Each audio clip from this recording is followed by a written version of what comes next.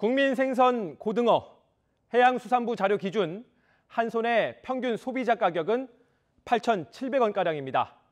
여기서 어민이 손에 쥐는 돈은 2,700원, 30%에 불과하고 나머지 70%, 6,000원 정도가 중간 유통 과정에서 덧붙습니다.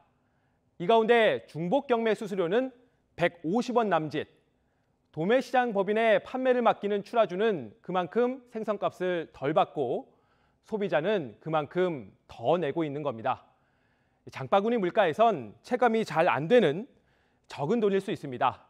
하지만 수천 킬로그램 도매 거래 단위에서는 무시할 수 없을 만큼 커집니다. 전체 수산물로 확대하면 규모는 더 불어납니다. 연간 460억 원.